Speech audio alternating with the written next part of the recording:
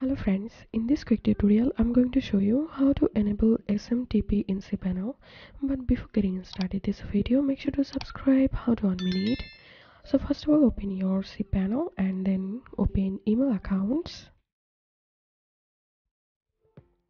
And here I have already created an email and I want to forward this email so I'm going to click on connect device. And copy this information. And open a notepad. And paste the information here. And now go back from go back to cpanel again. And now click on forwards add forwarder and here you have to put your username. So my username is info and select your domain here.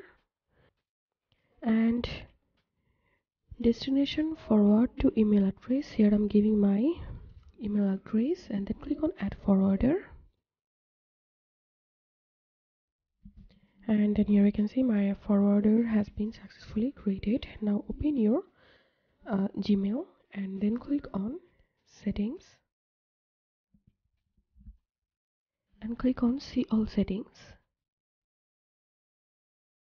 Then click on account and import and then click on add another email address. And now here I'm putting my website email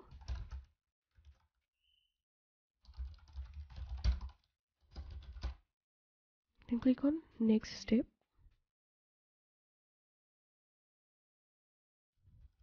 And now open the notepad and outgoing server copy this.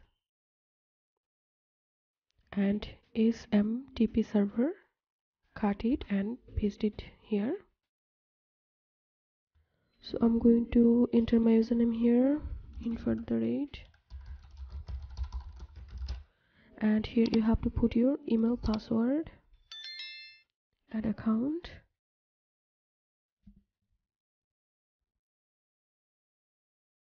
Here we have to put a verification code and you will get this verification code to your cpanel. So i'm clicking on check email